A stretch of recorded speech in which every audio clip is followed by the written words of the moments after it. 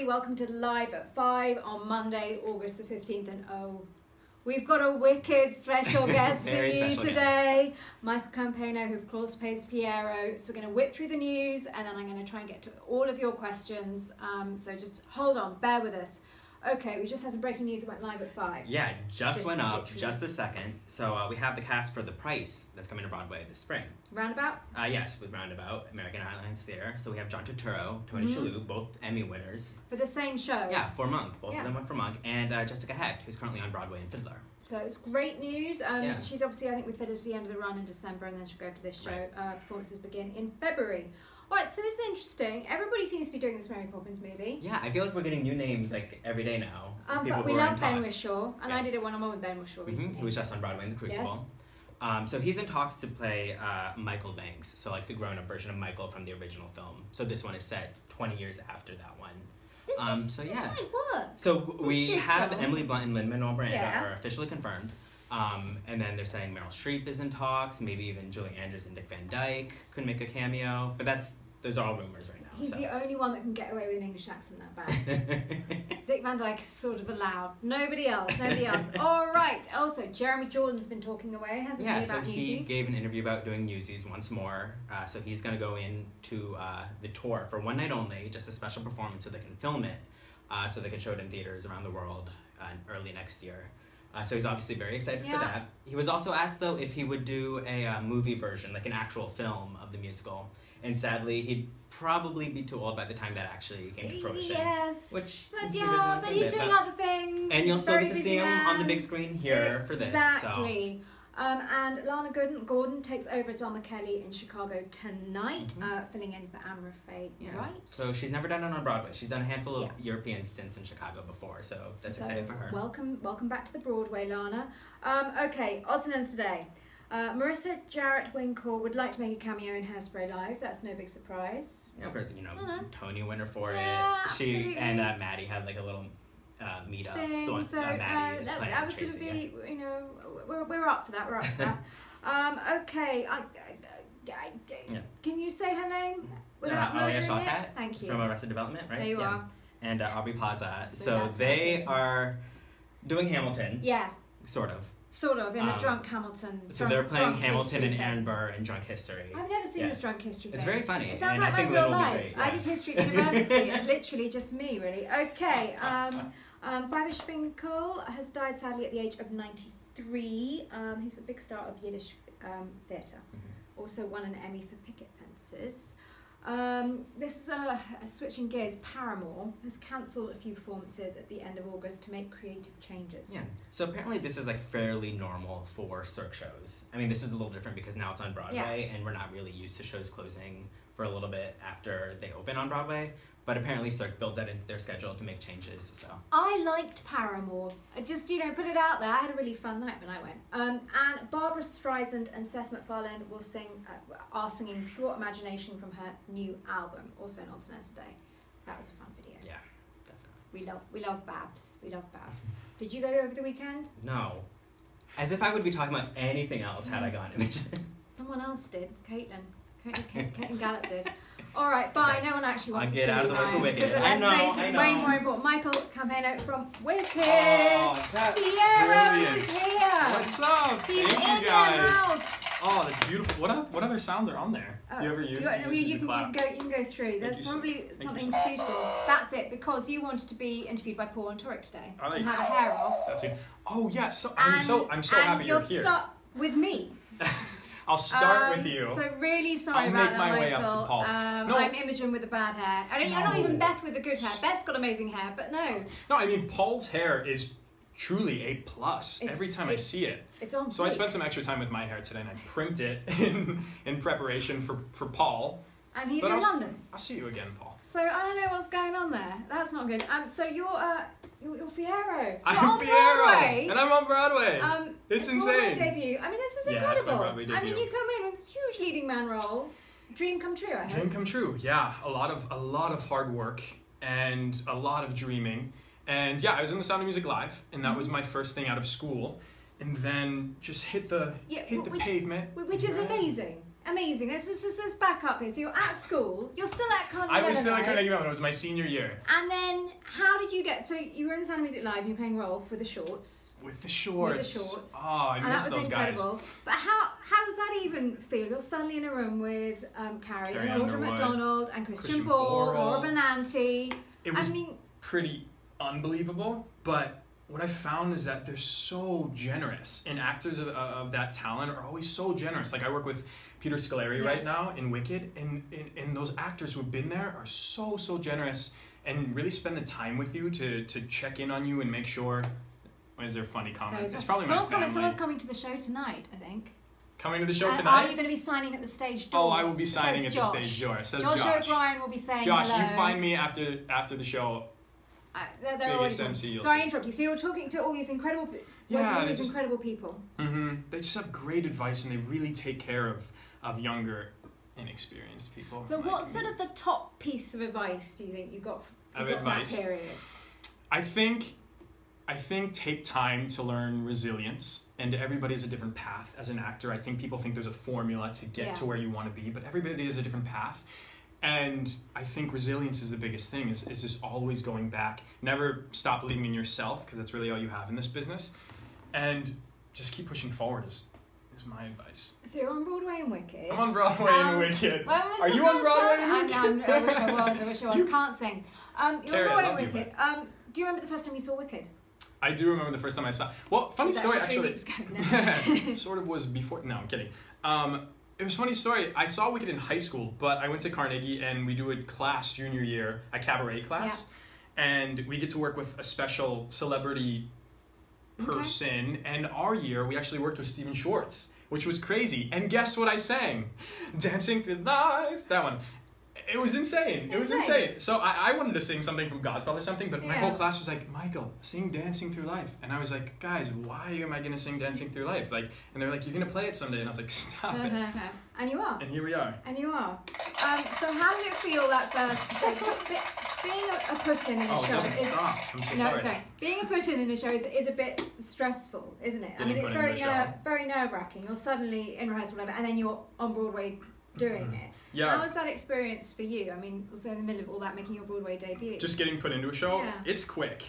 Let me tell you. But the people at Wicked run it so well that I felt so supported, and the dance captains were so great that I felt ready to go right away. Uh, but it's a quick. it's a quick. It's a quick. and you started the same night as Jennifer. Is I right? did, So Jennifer that must have been helpful as, as well that you It- were both coming into the show. It did. You know what? She made me feel so comfortable because she's done the role in, in every single company ever Yeah. made of You know, Wicked. she's yeah, she's she's the real deal. she's also got my favourite ever production shot of Wicked. Have you the seen fierce it's, one Yeah, that's like. it's amazing. Yeah, the the No Good Deed Yeah, yeah, one. yeah, like- she loves that one Oh, too. Yeah, it's it's superb. Yeah, yeah. So she made me feel so comfortable and grounded.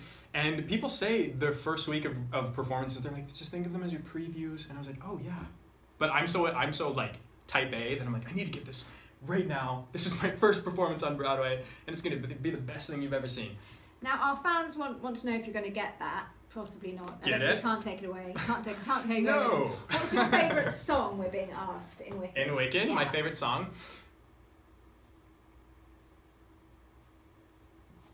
da, da, da. Um, I think my favorite song is popular because those Galindas are the funniest people I've. Carrie St. Louis is the funniest, Funniest person, person I've ever met, Ever. and she fills that song with so much brilliance of, of her goofy self. Oh, sorry, I'm sorry. No, no, I no, no, keep no, no, no, no. Sorry, I'll, I'll, I'll, I'll prompt you. So Madison would like to know uh, the favourite musical you've been in because obviously you did you did a lot in Pittsburgh. I did a lot in Pittsburgh. Yeah, Yeah, Do- been in doing my Pittsburgh. reading, I was so- in Pittsburgh for like. Do, do, You're, you know. are you a No, reporter? Just you know, I finally might have done my research. Here. Very well. Um, so in Pittsburgh, maybe. in Pittsburgh, um, I was in Carousel. Mm. Way too young. I was a sophomore in, in college. Way too young. But I would alright, you can do it love to now. revisit. Do Yeah. you think so? Yeah, yeah, right here. no, no, no, Julie Jordan. Is that you, Julie Jordan?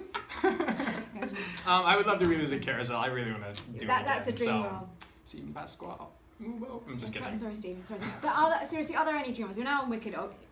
Uh, on Yeah. after doing a dream role. I Have really- you got anything else that you would absolutely love to do? I really want to do a Shakespeare play. Yeah. We studied a lot of Shakespeare in school, and I love the language of it, and so Comedy or tragedy? There's hearts floating around. What is that? That's because I love you.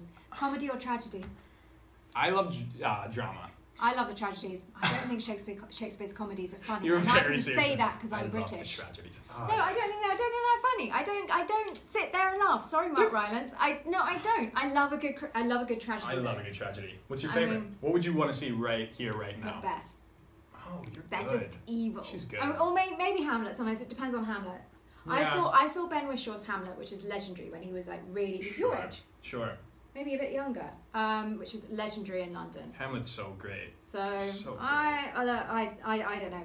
Um, okay, so you've been in Wick. For how long have you been in? This is my third week, so Third week. Now, so this is a favourite question that's always in. Any on-stage mishaps yet? I mean, you're wearing white pants. I mean, you know, I, I was wearing white pants the other day and had, you know, three things on them. So There- any, any on-stage mishaps? the cast yet? tells me some, and I literally can't stop laughing. My first one was just last week, and the rope swing sort of has a mind of its own. So Fiyero swings in on a, a rope at some Yeah. point that I can't tell you when, and um, it sort of did a 360. So in in honor of the Olympics and Simone Biles, I sort of flew in on the rope, just did a 360 because I couldn't stop myself, and somehow landed. And I was just so shocked that I landed that because I thought I was gonna roll down the stage that I, I was just like, huh, and then I f- blanked, Oh, blanked on my lines, but I recovered. you recovered. You're a professional. That's why.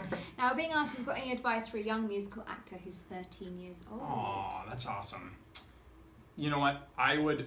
I started musical theater, acting, anything, training, not until my sen, not until really like my senior year of high school. So what I would wish was that I just started getting in the community of it and training much younger. My, I wish I would have danced a lot more.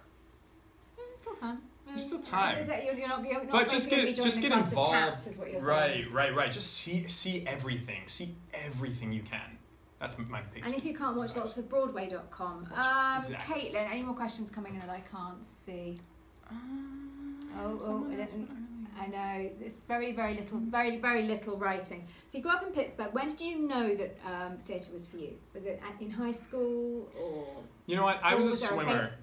I was a competitive swimmer Okay. for a long time, and that was my Mhm. my dream or my path. So I thought, and I got injured, as you do. Paul was. I saw the um, Paul was interviewing somebody, the kid from Phantom, and he was talking about me too, my friend. I uh, tore my rotator cuff Mm. swimming, and 'cause swimming is brutal in high school. I don't know. It, you go before, you know. I went to a girls' school. We just although apparently there were two I went to an all guys school. Two girls, two girls beat each other up in the swimming the other day. I think in the Olympics, but that's the Olympics. Very not well. my school.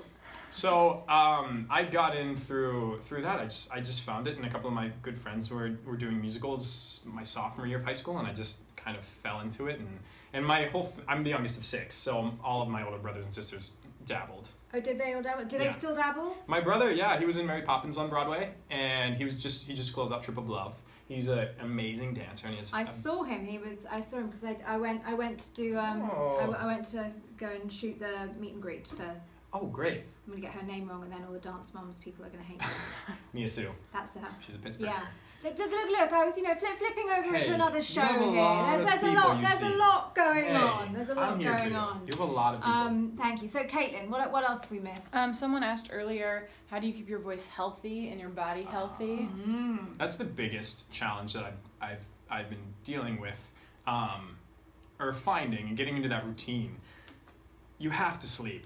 Let me tell you, and you just have to. It's everything comes with a cost, right? So it's just not going out and partying every night. I love steaming. Steaming has been a great thing. I have this pure mist. Um, really helped. Um, eating healthy. I like to run and work out, so I that's just there anyway but it, it is a lot of sacrifice. You can't just you can't just do whatever you want anymore. You're not young kids anymore, you know.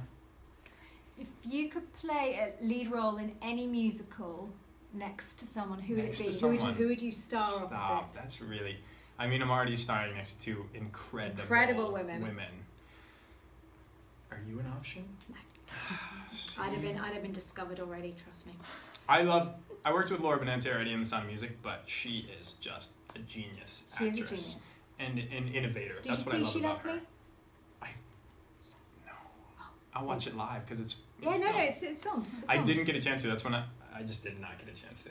Are you going? to What do you do about Hairspray live? Are you going to be able to watch that live, or are you going to? You know what? I don't. I think we'll have a show, We have a show. but I mean, is that weird? Have you watched the other ones? Having been I in, did, having been yeah. the first one, that which was this massive hit. yes. Did you then watch the others, or were you like, I no, this is a bit weird, I I- feel a bit sad? You know what I mean? Do you know what I mean? bit sad. No, but it's like you know, a bit wistful that you're not a part of it or whatever. I don't know. Yeah, no, I, I felt it, I liked watching it better because I, I understood the amount of, of pressure and Yeah, yeah, stress that people felt in that moment. So so the next year when they did Peter Peter Pan. Pan, I was love it. I just sat on my couch with my roommates and I was I loved just like watching it and I was like I know exactly how they Were. Christian Borle's arms like the same when he did The Sound of Music, or were they different by the time he got to Peter Pan Live?